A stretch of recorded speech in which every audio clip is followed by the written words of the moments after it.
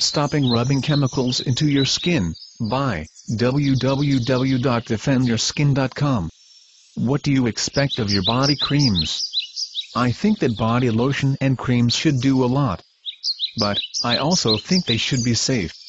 You might not be too concerned about safety, but think about it. Many of the chemicals used in body creams will penetrate the epidermis, the outermost layer of skin. Those chemicals have been found in breast cancer tumors and other tissue. Surveys conducted by the Centers for Disease Control and Prevention have found that over 90% of the population has those chemicals in their urine. The newest body lotion and creams are specifically designed to penetrate deeply. If the ingredients are not good for your health, you might not be able to enjoy how good your skin looks. Body creams can do a lot for the appearance and health of your skin, as long as they contain the right ingredients. You can counter the signs of aging, prevent and correct free radical damage, fade stretch marks and scars, heal old wounds and prevent infections. Maybe all you were looking for was an effective moisturizer. You can have that too. Natural moisturizers are accompanied by numerous benefits, like the ones mentioned above. The typical is petrolatum and it won't do anything except sit on the surface.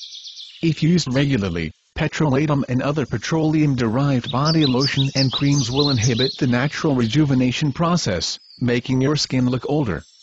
According to respected dermatologists, it causes premature aging of the skin. The best body creams contain jojoba. Jojoba oil is like a liquid wax. It moisturizes and protects. It also reduces wrinkles and stretch marks. It lightens scars and is beneficial in treating conditions like acne and psoriasis, primarily because it balances sebum production. Sebum is the skin's own oil. In conditions like acne, the glands secrete too much. In conditions like psoriasis, they secrete too little. If you have combination skin, like most of us, you can balance that out with body lotion and creams that contain jojoba. Honey is another good ingredient to look for. Active manuka honey is the best. All varieties of honey have antibacterial or antiseptic activity, as well as antioxidant activity. Scientists have shown that manuka honey is the most active. Only the best body creams contain manuka, because it is an expensive ingredient. But, those that contain it can help you protect the health of your skin.